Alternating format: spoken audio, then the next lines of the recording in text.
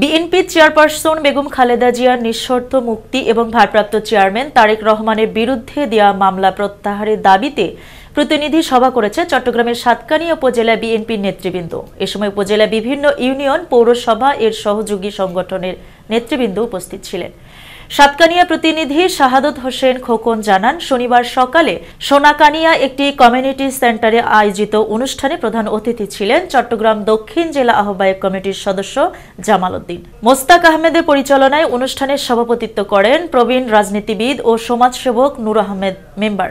বক্তব্য রাখেন হাজি ইসাহাক, রহিম মেম্বার জমির উদ্দিন সহ সাতকানিয়া বিএনপি নেতৃবৃন্দ। অনুষ্ঠানে সাতকানিয়ার বিভিন্ন ইউনিয়ন ও পৌরসভা বিএনপির নেতাকর্মীরা উপস্থিত ছিলেন।